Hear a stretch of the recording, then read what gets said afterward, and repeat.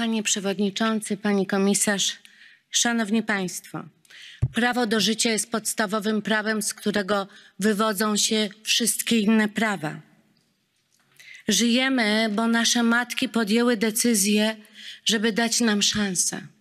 Wy dzisiaj Państwo uważacie, że aborcja jest sposobem na życie? Czy widziałyście zdjęcie dziecka z USG 6, 7, 8 miesięcznego, a może nawet wcześniejsze?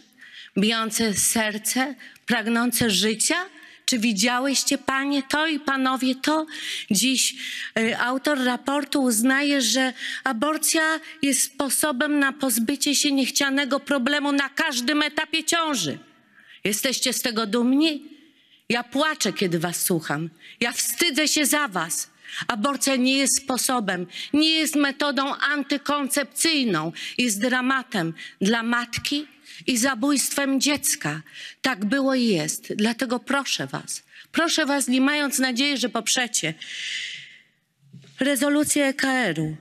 Prawo do życia jest kompetencją państwa członkowskiego, o czym mówiła wielokrotnie pani komisarz, która niedawno została babcią. Gratuluję pani tego. Dziękuję.